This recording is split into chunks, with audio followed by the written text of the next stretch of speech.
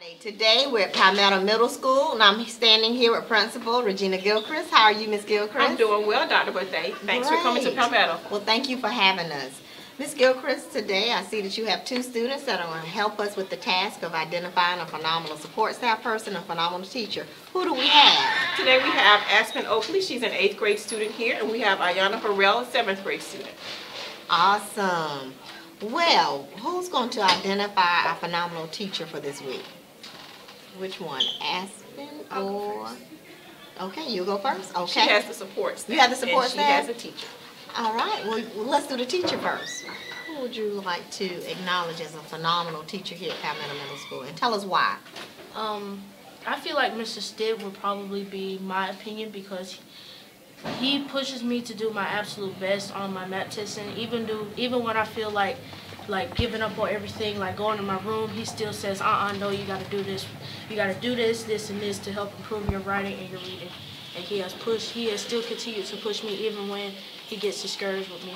Ah, well, listen, that was an awesome answer. that was an awesome answer. He continues to push you and push you. Awesome. Well, Aspen, can you tell us about a phenomenal support staff person? Um, I say Miss Octavia Johnson. She, my brother knows her, and he was he was so close to her, and I feel close to her too. And she just like helps me through it a lot. Like if I need to talk to anyone, I can go to her and talk to her. She motivates me to do my work every day. She welcomes me at the door. And all in all, she's just my favorite person out here. Awesome. I agree. Ms. Johnson is very helpful as well.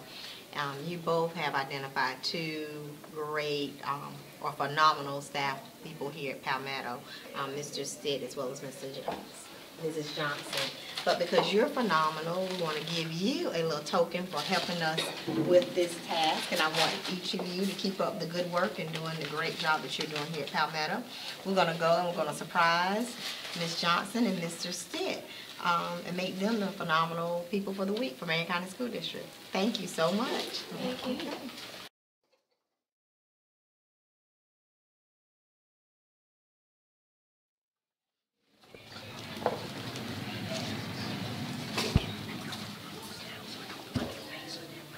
I'm sorry I don't have my key. Phenomenal Friday. We appreciate you and everything that you do for Palmetto. Exactly. I love it. I love it. I love it. We appreciate you, Mrs. Stitt, and um, the tireless efforts that you put in all the time. For the camera, can you tell us what would help a student, make a student identify you as a phenomenal teacher? And Ms. Harold has shared her thoughts, and has said some great things, so. um, what a student might.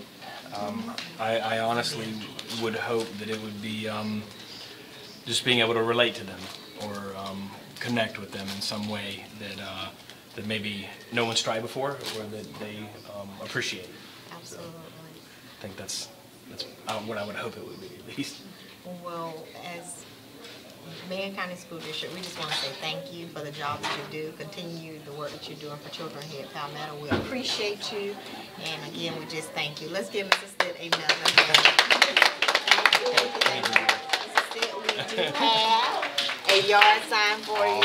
You know the Thank you. protocol. Yeah, We're gonna yeah. come by your house, wherever Yeah, you live. see it. gonna- Okay, all right. Well, come on in, Miss Stitt. I'm gonna let you get close to Mrs. Okay. Thank you. From the city. Can you go down to, um, Mr. McHugh? And thank you. Phenomenal Friday, Miss Johnson. Thank you, thank you, thank you for all that you do. Aspen has shared all the great things and the impact that you make here at Palmetto Middle School. And we just want to say thank you, thank you, thank you. Now for the camera, tell us what would make a student identify you as a phenomenal staff person? I love the children. Mm, that's important. I love them. They're like my babies. I once asked God that I told him that I wanted a house full of children. Wow. And when I began working here, I said, this is my house full of children. Awesome. Well, I love them. Well, we appreciate you and thank you for holding down the fort here at Palmetto. And thank you for just going the extra mile with students to make them feel Thank that you're you. such a special part of this school and their lives, so Thank thank you so you. We do have another token, a yard sign for you. And we know where you and Mr. Tim live. And so We're gonna come by and make sure you have that in the yard, and thank you, thank you, thank you. Ms. Speakers, if you'll come out. I'm sorry.